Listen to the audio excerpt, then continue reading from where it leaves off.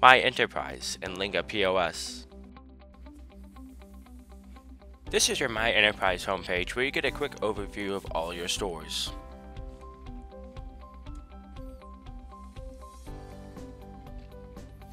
Under My Stores is how you would access each one of your stores individually on a store level to make edits to menus, categories, or employees. Under the Royalties and Franchise tab, you have the option to put in a percentage that will come out on a report based on the sales so that you could have a franchisee pay corporate. There's also a report here that will show you if you run it the royalty amount that is due and you can run it by all stores, individual stores, and certain periods. Account users are people who have access to your enterprise. This means they have access to all of your enterprise settings as well as access to each individual store. Enterprise reports are just like your store level reports, but they combine all of your stores in your enterprise.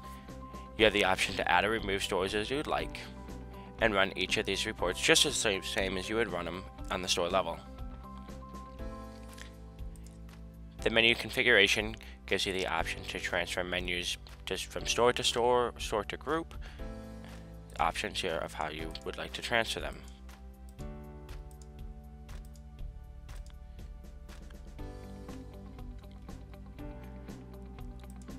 Under your loyalty, this is where you would set up your loyalty program.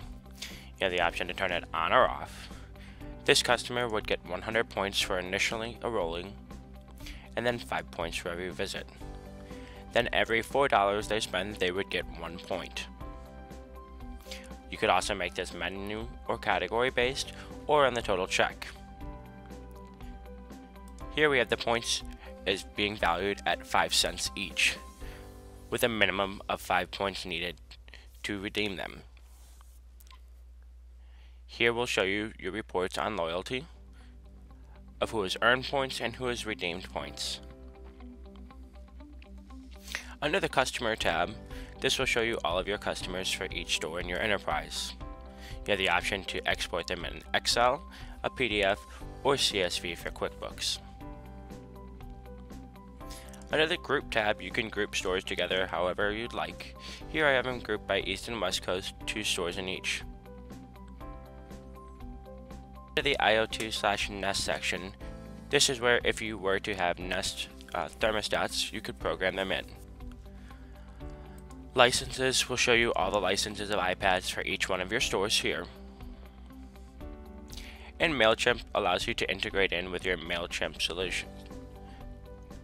For more Linga POS training resources, visit support.lingapos.com.